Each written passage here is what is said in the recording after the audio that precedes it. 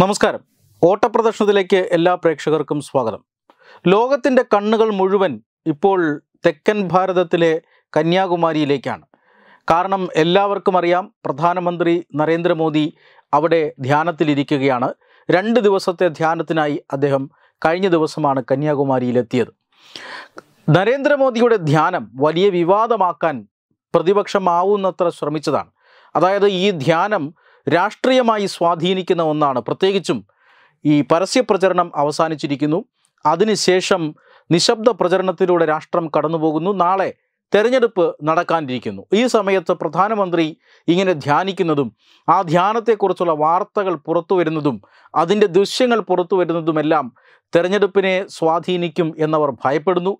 അതുകൊണ്ട് തന്നെ അവർ പ്രതി തെരഞ്ഞെടുപ്പ് കമ്മീഷനെ സമീപിക്കുന്നു. പക്ഷേ തെരഞ്ഞെടുപ്പ് കമ്മീഷൻ കൃത്യമായി ഒരു കാര്യം പറയുന്നു. അദ്ദേഹം ധ്യാനിക്കുന്നുണ്ട് എങ്കിൽ അത് അദ്ദേഹത്തിന്റെ വ്യക്തിപരമായ കാര്യമാണ്. അതിൽ തെരഞ്ഞെടുപ്പ് കമ്മീഷന് ഇടപെടാനാകില്ല എന്ന് തെരഞ്ഞെടുപ്പ് കമ്മീഷൻ അസന്ദിഗ്ധമായി പ്രഖ്യാപിച്ചു. അതോടൊപ്പം തന്നെ ഈ ധ്യാനത്തിന്റെ റിപ്പോർട്ടിങ്ങും ധ്യാനത്തിന്റെ ദൃശ്യങ്ങളും തടയാനുള്ള പ്രതിപക്ഷത്തിന്റെ ശ്രമം വിഫലമായി പോയി കന്യാകുമാരിയിൽ വലിയൊരു കെണിയാണ് പ്രതിപക്ഷം ഒരുക്കിയത്. അതായത് ഈ ദൃശ്യങ്ങൾ പുറത്തു വരുമ്പോൾ തെരഞ്ഞെടുപ്പ് ചട്ടലംഘനം ആരോപിച്ചുകൊണ്ട് കമ്മീഷനെ സമീപിക്കാം എന്നാണ് അവർ കരുതിയത്. അത് വളരെ ജാഗ്രതയോടുകൂടി തന്നെയാണ് പ്രധാനമന്ത്രി നേരിട്ടത് എന്ന് പറയേണ്ടി വരും. ഒരു പ്രധാനപ്പെട്ട കാര്യമെന്നത് നരേന്ദ്രമോദി ധ്യാനിക്കുന്നത് നിശബ്ദനായിരുന്നാണല്ലോ. നിശബ്ദ പ്രചരണത്തിന്റെ മണിക്കൂറുകളാണല്ലോ. നിശബ്ദ പ്രചരണത്തിന് ആരാണ് വിലക്ക് കൽപ്പിച്ചിട്ടുള്ളത് എന്നത് മറ്റൊരു കാര്യം. എന്തായാലും നരേന്ദ്രമോദി വളരെ ജാഗ്രതയോടുകൂടിയാണ് ഈ കെണികളെയൊക്കെ നേരിട്ടത് എന്ന് പറയേണ്ടി വരും. കാരണം അദ്ദേഹം കഴിഞ്ഞ ദിവസം വൈകുന്നേരമാണ് തിരുവനന്തപുരത്താണ് വിമാനം ഇറങ്ങിയത് തിരുവനന്തപുരത്ത് വിമാനം ഇറങ്ങുമ്പോൾ സ്വാഭാവികമായും തിരുവനന്തപുരത്ത് കേരളത്തിന്റെ ബി ജെ പി അധ്യക്ഷനും മറ്റ് പാർട്ടി നേതാക്കളും അടങ്ങുന്ന ഒരു സംഘം സ്വാഭാവികമായും പ്രധാനമന്ത്രിയെ സ്വീകരിക്കേണ്ടതാണ്.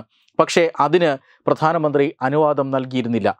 ആരും പ്രധാനമന്ത്രിയെ സ്വീകരിക്കാൻ എത്തേണ്ട എന്നാണ് അവിടെ നിന്നുള്ള നിർദ്ദേശം. എന്നു മാത്രമല്ല ഇവിടെ നിന്നും ഹെലികോപ്റ്ററിൽ അദ്ദേഹം യാത്രയായി തമിഴ്നാട്ടിലെ കന്യാകുമാരിയിൽ ചെന്നിറങ്ങുമ്പോഴും ആരും സ്വീകരിക്കാൻ ഉണ്ടാകാൻ പാടില്ല. പ്രധാനമന്ത്രിയുടെ നടപ്പാതകളിൽ പാർട്ടിയുടെ കൊടിതോരണങ്ങളിൽ ഒന്നും ഉയർത്താൻ പാടില്ല എന്ന് കർശന നിർദ്ദേശമുണ്ടായിരുന്നു. കന്യാകുമാരിയിൽ പ്രധാനമന്ത്രിയെ സ്വീകരിക്കാനായി അവിടെ കേന്ദ്രമന്ത്രി എൽ മുരുകൻ മുറിയെടുത്തിരുന്നുവെങ്കിലും അത് പിന്നീട് റദ്ദാക്കിയിരുന്നു. അവിടുത്തെ മുൻ എം പിയും ഇപ്പോഴത്തെ സ്ഥാനാർത്ഥിയുമൊക്കെയായ പൊൻ രാധാകൃഷ്ണൻ കാണാൻ ശ്രമിച്ചെങ്കിലും പ്രധാനമന്ത്രിയുടെ സുരക്ഷാ ഉപദേഷ്ടകർ വിലക്കുകയാണ് ഉണ്ടായത് എന്ന് നമ്മൾ കണ്ടു.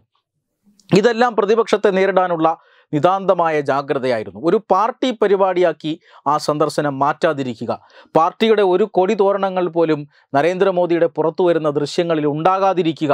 ഇതെല്ലാം വളരെ സൂക്ഷ്മതയോടുകൂടിയാണ് പാർട്ടിയും പ്രധാനമന്ത്രിയുടെ ഓഫീസും കൈകാര്യം ചെയ്തത് എന്ന് പറയേണ്ടി വരും. ഏതെങ്കിലും ഒരു കൊടിയുടെ ദൃശ്യം ഈ പുറത്തു വന്ന ദൃശ്യങ്ങളിൽ ഉണ്ടായിരുന്നുവെങ്കിൽ ഒരു പക്ഷേ പ്രതിപക്ഷം അത് ആയുധമാക്കിയേനെ. പ്രതിപക്ഷത്തിന് ആയുധം കൊടുക്കാതിരിക്കാൻ പ്രധാനമന്ത്രി കാട്ടിയ ജാഗ്രത അത് എടുത്തു പറയേണ്ടതാണ്. മാത്രമല്ല ലോകമെങ്ങും ഇന്ന് ഇന്ത്യൻ പ്രധാനമന്ത്രിയുടെ ഈ ധ്യാനം ചർച്ചയാവുകയാണ്.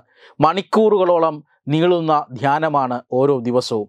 നമുക്കറിയാം ഇന്ന് രാവിലെ അദ്ദേഹം ഈ അദ്ദേഹം ധ്യാനത്തിന്റെ ധ്യാന മണ്ഡപത്തിന് പുറത്ത് അദ്ദേഹം വന്നിരുന്നു. അത് സൂര്യോദയം ദർശിക്കാനായിരുന്നു.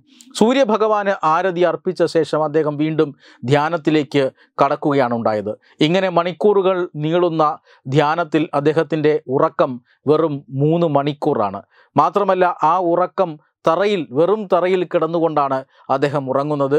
ഭക്ഷണം എന്നത് വെറും പാനീയങ്ങൾ മാത്രമാണ്. അതായത് കരിക്കിൻ വെള്ളം അതുപോലെ തന്നെ പാൽ പഴച്ചാറുകൾ ഇതൊക്കെയാണ് പ്രധാനമന്ത്രി ഈ നാൽപ്പത്തിയെട്ട് മണിക്കൂറും ഭക്ഷണമാക്കുന്നത്. ഇതിനുള്ള എല്ലാ വ്യവസ്ഥകളും ആ വിവേകാനന്ദ പാറയിൽ ഒരുക്കി കഴിഞ്ഞു. പക്ഷേ ലോകത്തിന് തന്നെ അത്ഭുതപ്പെടുത്തിക്കൊണ്ട് ലോകത്ത് തന്നെ സമാനതകളില്ലാത്ത വിധം ഒരു ഭരണാധികാരി ഇത്രയും വലിയ മണിക്കൂറുകൾ നീളുന്ന ധ്യാനമിരിക്കുന്നു. കഴിഞ്ഞ തവണ അദ്ദേഹം പതിനേഴ് മണിക്കൂറാണ് ധ്യാനം ഇരുന്നത് എങ്കിൽ ഇത്തവണ അത് നാൽപ്പത്തിയെട്ട് മണിക്കൂറായി വർദ്ധിച്ചിരിക്കുന്നു.